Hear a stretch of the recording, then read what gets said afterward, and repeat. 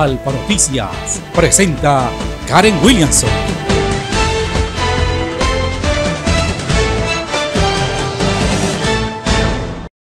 Buenas noches, bienvenidos a una nueva emisión de Alfa Noticias. Estos son nuestros titulares. Desarticulada banda delincuencial denominado Los Refrescos, quienes se dedicaban a distribuir alucinógenos en Pitalito. El Ejército Nacional ha logrado la recuperación de ocho menores que estarían en poder de las disidencias en el Huila. La Registraduría Nacional del Estado Civil presenta el Observatorio Electoral, una ventana única en función de la democracia. En deportes, Atlético Huila inició ganando en la fecha 1 de los cuadrangulares semifinales. Conozca cómo ha sido la preparación de los deportistas de Talentos Neiva para los próximos torneos. Al finalizar, Ejército frustra millonario envío de marihuana, siendo el mayor decomiso en los últimos 10 años en el Huila. El viernes 24 de mayo, la Universidad Cooperativa de Colombia Campus Neiva realizará el Foro Internacional Inmigración, un impacto en la salud mental y su legalidad.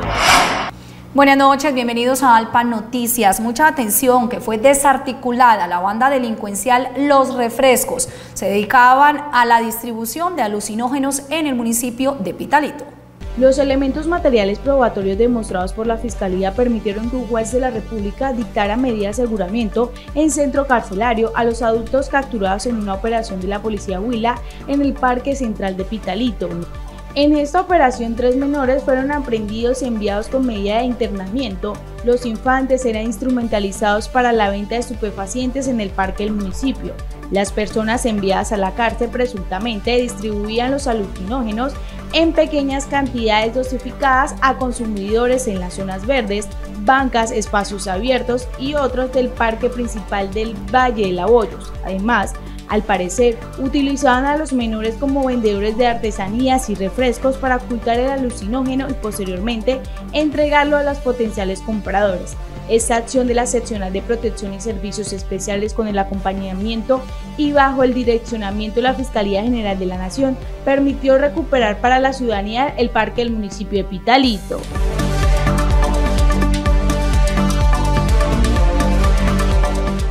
El Ejército Nacional logró la recuperación de ocho menores de edad que estaban en poder de las disidencias de las FARC en el departamento del Huila. En lo corrido del año 2024, el Ejército Nacional ha logrado la recuperación de ocho menores que habrían sido reclutados por grupos al margen de la ley en zonas limítrofes con otros departamentos. Ha sido en combate, combate. Algunos han sido heridos y reciben la atención médica de nuestros soldados en la vía que comunica de La Plata a al departamento del Cauca.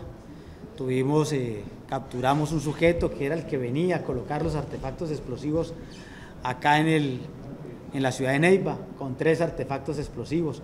Pero los soldados somos garantes de los derechos humanos, del derecho internacional humanitario, y estos jóvenes han sido puestos eh, recaudo de la autoridad competente.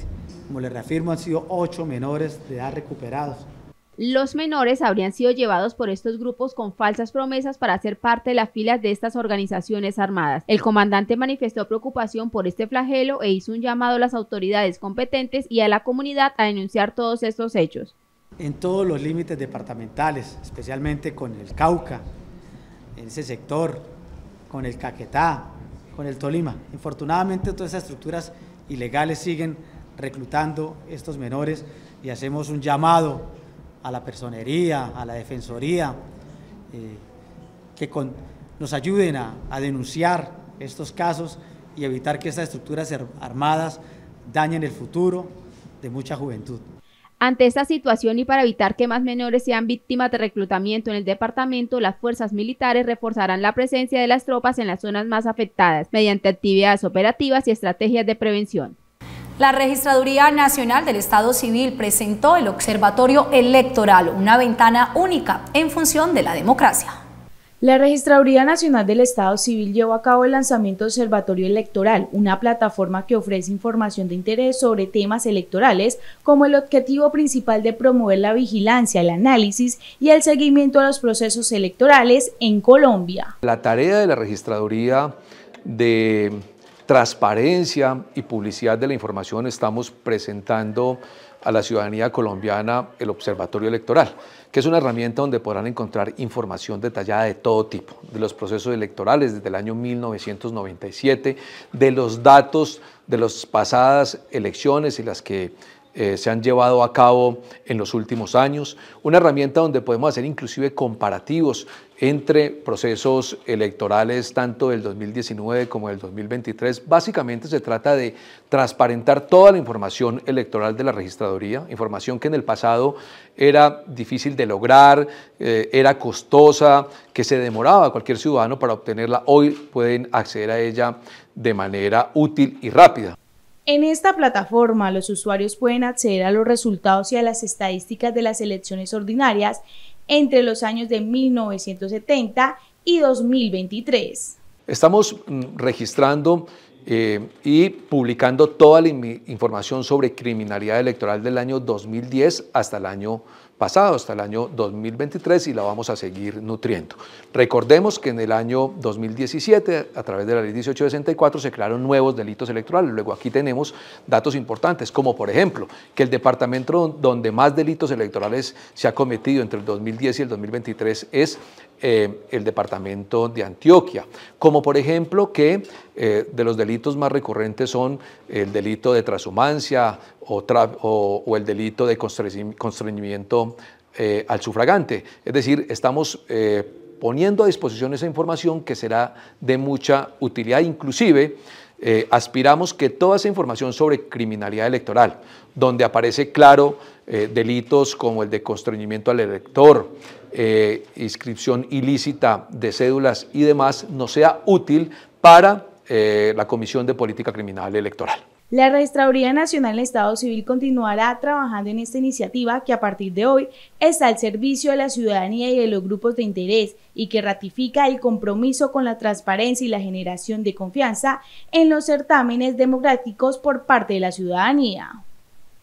Y en otras noticias, José Antonio Muñoz, el nuevo gerente del Hospital San Antonio de Padua del municipio de La Plata, habló con Alpa Noticias sobre los nuevos retos que asumirá frente a esta entidad. José Antonio Muñoz Paz, gerente del Hospital Departamental San Antonio de Padua de La Plata, manifestó que trabajan en la humanización del servicio para todos los pacientes y en proyectos que mejoren la infraestructura del centro médico. A decirle que el Hospital de La Plata está en crecimiento, tiene una población de 200.000 habitantes y lo que queremos para este importante Hospital San Antonio de Padua, junto con la población del occidente del departamento, es llevar proyectos que mejoren la prestación de los servicios y desde luego también un proceso de humanización que se ha insistido mucho desde el gobierno departamental, es humanizar los servicios y de la mano también mejorar la infraestructura para que no se presenten temas de hacinamiento o dificultades para la hospitalización de los pacientes. El gerente indicó que uno de los pilares fundamentales es mejorar las condiciones laborales de los trabajadores que prestan sus servicios en el hospital.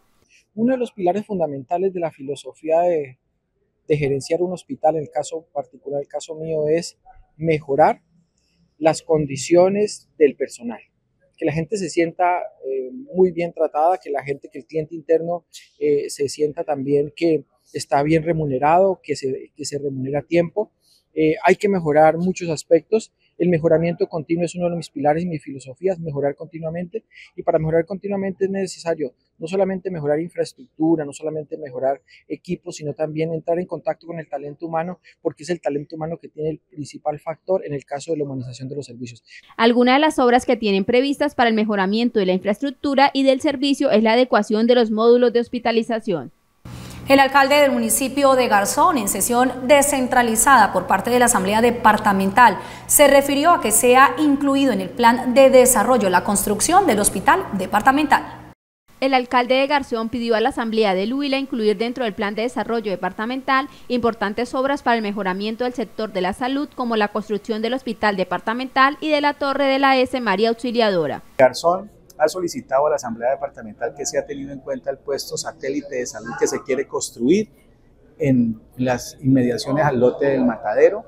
También le hemos solicitado mucho apoyo cuando llegue el momento de la dotación de la construcción de la, de la torre la S María Auxiliadora.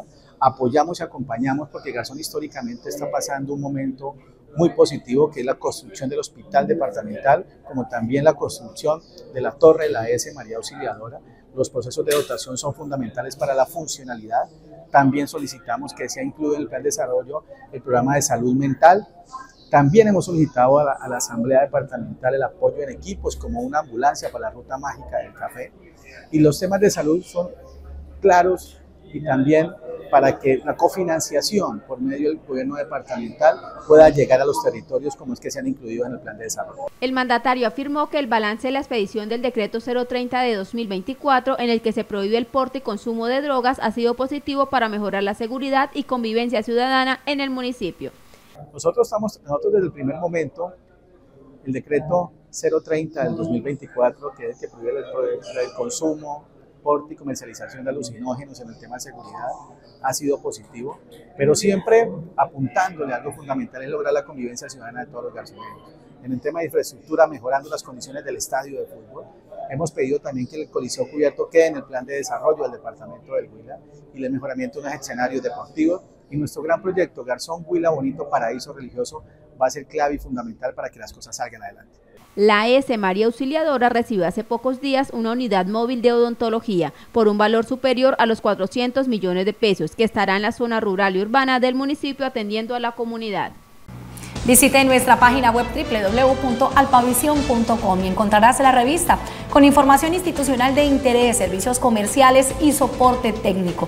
Además, conectarse en vivo a través de nuestra fanpage de Facebook, Alpavisión Noticias Neiva Alpa Surnef, en Instagram y en TikTok, Alpa Noticias Neiva. Y al regreso, espere, Ejército frustra millonario envío de marihuana, siendo el mayor decomiso en los últimos 10 años en el Huila. El viernes 24 de mayo, la Universidad Cooperativa de Colombia, Campus Neiva, realizará el Foro Internacional Inmigración, un impacto en la salud mental y su legalidad. Y en deportes, Atlético Huila inició ganando en la fecha primera de las cuadrangulares semifinales. Es momento de hacer una pausa, ya regresamos.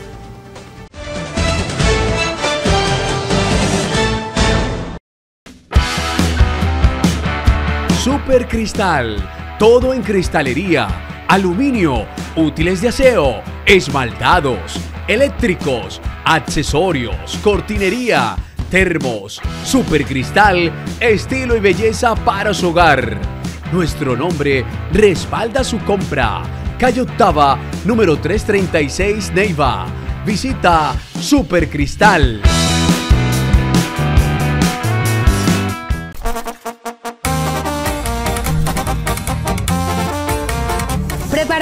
La gran cabalgata de la Universidad Cooperativa de Colombia? Este primero de junio, a partir de las 3 de la tarde, saldremos desde el Monumento a la Madre Tierra.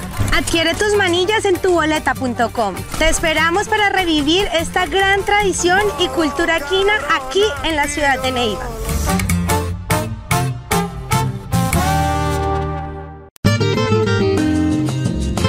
...20 años disfrutando de la mejor lechona huilense 20 años conservando las tradiciones de nuestra región. 20 años trabajando con amor y con el mejor sabor del rey de la lechona, Pijipi. ¿Qué esperas para disfrutar de la mejor lechona con el cuero más crocante? Ven y prueba la magia de Pijipi. Pedidos 322-751-6150, 316-358-7902 y 317 647-2908. Carrera 50, número 19C19, Barrio Pastrana.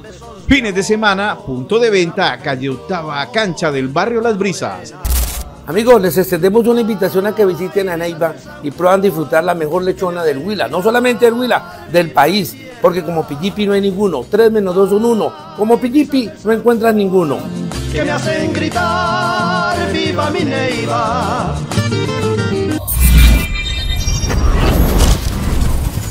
En Alpasurnet te brindamos la mejor experiencia de velocidad en Internet. Haz tu mejor inversión y conéctate con nosotros. Con nuestra avanzada tecnología te ofrecemos una conexión rápida que te permitirá disfrutar de tus contenidos favoritos, sin retrasos, sin interrupciones. Conéctate con el haz de la velocidad y disfruta al máximo tu entretenimiento en línea. Alpasurnet, donde la velocidad es tu mejor aliado.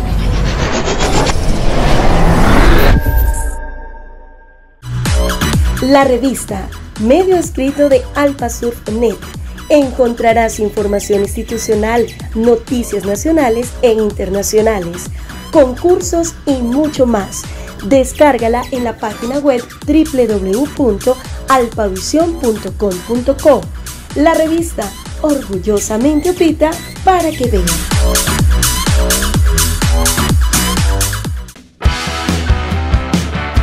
Super Cristal todo en cristalería, aluminio, útiles de aseo, esmaltados, eléctricos, accesorios, cortinería, termos, supercristal, estilo y belleza para su hogar. Nuestro nombre respalda su compra. Calle Octava, número 336 Neiva. Visita Supercristal.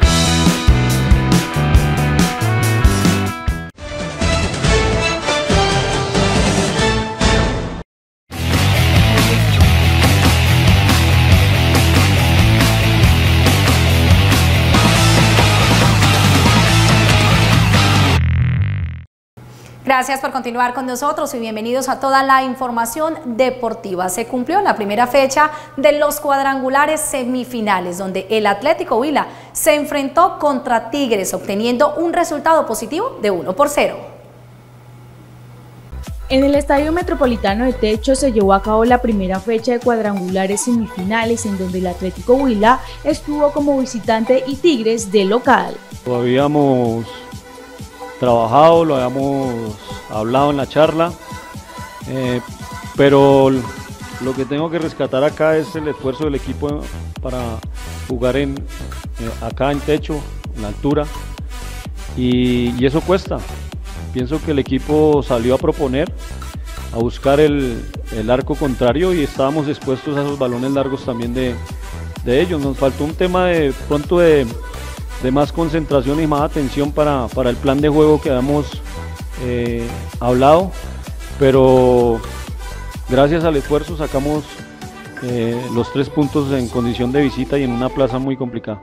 El desempeño que tuvo Jason Méndez demostró que el equipo Pita tiene arquero tras varias atajadas que permitieron que el Huila tuviera el arco en cero. Pienso que, eh, o lo que le manifestamos al grupo es que uno debe trabajar durante la semana para merecer la, victoria. Y el equipo no se ha cansado de trabajar de la mejor forma día tras día. Eh, aparte de la clasificación que hacemos es el esfuerzo que ellos le ponen todos los días a entrenar con intensidad, a, armar un plan de juego y, ejecutarlo de la mejor forma. Eh, hoy habían eh, fortalezas claras de Tigres eh, que por momento nos, nos costaron y nos hicieron daño y pudieron irse arriba en el marcador con un penal. Pero para lo que ustedes hablaron anteriormente, de ver un equipo como corrió hoy, en, el tema de la planificación, eh, digámoslo, no dejamos nada al azar y también la, la, mentalidad de este equipo de querer venir acá a, imponer una idea de juego, independiente de, de, la altura, lo que fuera, y nos llevamos un resultado gracias a, a esa valentía y ese coraje para, para afrontar los momentos difíciles. Ahora se espera que se realice el partido de vuelta en donde la Uriverde estará en condición de local y el cual buscará respetar la casa, obteniendo el triunfo para pasar directo a la siguiente fase. Se llevó a cabo el Campeonato Nacional de Lucha en Playa en la ciudad de Neiva, donde participaron solamente cuatro delegaciones en las categorías de U17 y U20. Después de cinco días de intensivos combates, el Campeonato Nacional de Lucha Clasificatorio del Panamericano culminó con un balance positivo. El apoyo total para ellos por parte de la Secretaría de Deportes, Inderhuila, eh, la Liga de Lucha. Eh, el acompañamiento y la organización de la liga también es una, parte que se debe exaltar. Eh, fueron, fueron unos días difíciles, pero se logró sacar este campeonato eh, con los mejores resultados Eh, el Huila tuvo excelentes resultados, el Valle digamos que fue la, el, departamento ganador, pero el Huila nos dejó en altos, tenemos deportistas que hay que seguir apoyando, que hay que seguir eh, trabajando para que nos den mejores logros en unas próximas oportunidades. Definitivamente este campeonato demostró que con pocos recursos podemos hacer grandes cosas, que la inversión y el movimiento de la economía se ve. Restaurantes, hotelería, turismo, tenemos diferentes departamentos, delegaciones trabajando, invirtiendo en nuestro municipio. La delegación que arrasó fue Bogotá con 18 medallas, quedando en el primer puesto en el ranking de equipos. Para Bogotá fue un balance muy positivo. Eh, en la categoría sub-17 alcanzamos 5 medallas de, de, oro. En la categoría sub-20 alcanzamos 9 medallas de oro, 4 de plata y 3 de bronce. Eh, pues afortunadamente estaríamos hablando de 14 medallas de oro, serían 14 deportistas que van a tener la posibilidad de representar a Colombia en el Campeonato Panamericano del próximo mes de junio. En este escenario el Huila contó con una excelente participación obteniendo el segundo puesto en el podio con 14 medallas. El equipo Talentos Neiva se viene preparando para los torneos que se avecinan en este mes, realizando un buen trabajo con todos los deportistas. Talentos Neiva sigue trabajando para dar un buen desempeño en el torneo nacional de la sub-20 y con la primera C. Estamos trabajando, dándole eh, preparándonos bien para, para, lo que viene, ¿no? Confiados en el grupo, en que vamos a hacer una buena presentación. Ya son cinco meses de que los deportistas vienen trabajando para mejorar las tácticas en el fútbol. Son equipos que ya los hemos enfrentado en varias ocasiones con Juventud Vila, los enfrentábamos, equipos muy aguerridos, son equipos fuertes, que pues gracias a esos enfrentamientos que hemos tenido con ellos, nos damos cuenta cómo, cómo tenemos que trabajar con ellos, cómo, cómo los vamos a enfrentar. Y asimismo para hacer un análisis con los muchachos, con videos, mostrando los videos de cómo juegan para, para así contrarrestar todo lo que, lo que ellos nos vayan a proponer. Ya el equipo sabe quiénes serán sus contrincantes, clubes de Bogotá, Florencia y Purificación, en donde se conoce que son rivales muy fuertes. La fortaleza de nosotros es el trabajo táctico, ¿no? Mucho automatismo, transiciones rápidas, ¿sí? Eh, tratamos de tener jugadores que, que mentalmente sean rápidos y físicamente igual. Y hasta aquí toda la información deportiva en Alpa Noticias. Recuerden que nos pueden seguir a través de las redes sociales, en Facebook Alpavisión Noticias Neiva Alpa Surnef, en Instagram y en TikTok Alpa Noticias Neiva. Fueron incautados 3.088 kilogramos de marihuana en un vehículo empleado para el transporte de alimentos. En un vehículo empleado para el transporte de alimentos que requerían cadena de frío, las bandas criminales dedicadas al ilícito de narcotráfico pretendían pasar por carreteras del Huila 3.888 kilogramos de marihuana. La acción se traduce a un contundente golpe a las finanzas de las infraestructuras armadas al margen de la ley. La operación de intervención se llevó a cabo en el kilómetro 59 de la vía que comunica Garzón con el municipio de La Plata, donde soldados del Batallón de Infantería número 26 Cacique Piguanza y el Grupo de Caballería Liviana número 6 de la Novena Brigada del Ejército Nacional, en coordinación con la Policía de Tránsito y Transporte, interceptaron el vehículo sospechoso, al inspeccionar se encontraron 5.850 paquetes con la sustancia ilícita, 1.200 de los cuales estaban marcadas con la bandera de Colombia, una estrategia del narcotráfico para identificar la procedencia del estupefaciente que al parecer pretendía ser exportado. El conductor del vehículo, un hombre de 34 años, fue capturado y puesto a disposición de las autoridades competentes.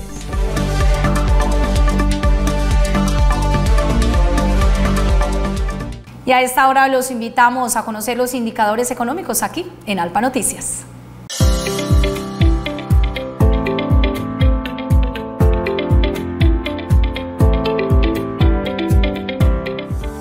Indicadores económicos para hoy martes 21 de mayo. Dólar 3.822 pesos con 39 centavos. Bajó. Euro 4.153 pesos con 3 centavos. Bajó. Petróleo 83 dólares con 63 centavos. Bajó. Café 2 dólares con 31 centavos. Subió. El próximo viernes 24 de mayo en la Universidad Cooperativa de Colombia, Campus Neiva, se estará realizando el Foro Internacional Inmigración, un impacto en la salud mental y su legalidad. La Universidad Cooperativa de Colombia, Campus Neiva, realizará el Foro Internacional Inmigración, un impacto en la salud mental y su legalidad, para abordar este fenómeno social con importantes ponentes nacionales e internacionales. En este caso, eh, eh, desde un curso que se llama Problemática Social Colombiana, se trabaja precisamente este fenómeno social como es la inmigración, todos sabemos que por Colombia diariamente están transitando N personas de otras nacionalidades, especialmente las venezolanas, que están atravesando muchos territorios del país y en especial pasando por el tapón del Darién llegando a Panamá y ahí busca, en busca de tal vez del sueño americano, como se dice. En ese caso se analiza desde este espacio académico, que es el curso de problemáticas eh, social colombiana, como lo decía, eh, la posibilidad de debatir en torno a esta temática. Según algunas caracterizaciones realizadas por Migración Colombia, en su mayoría los migrantes que han llegado al departamento están dedicados a la recolección del café. Nos va a dar precisamente los datos que necesitamos para tener un contexto de esta realidad. Por ejemplo, nos va a dar eh, a conocer datos tan significativos como estos. La mayoría de las personas eh, migrantes eh, están dedicadas a la recolección de café.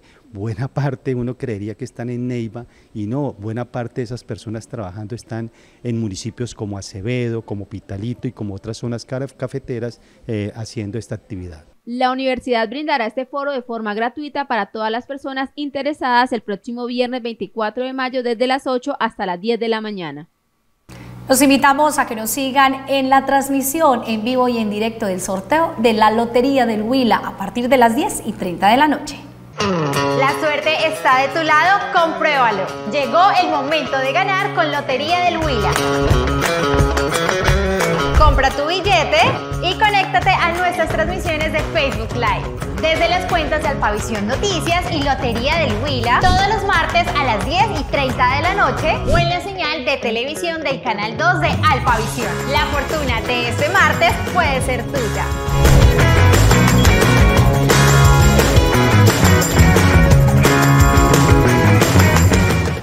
Recuerden que somos el único canal de televisión por cable en Neiva. Esto ha sido todo por hoy. Recordarles que nuestra emisión oficial es a las 7 de la noche, con repetición a las 10 de la noche. Nos pueden seguir a través de nuestras redes sociales en Facebook, Alpavisión Noticias Neiva, Alpa Surnef, en Instagram y en TikTok, Alpa Noticias Neiva, en Neiva y el Huila, la verdadera opinión.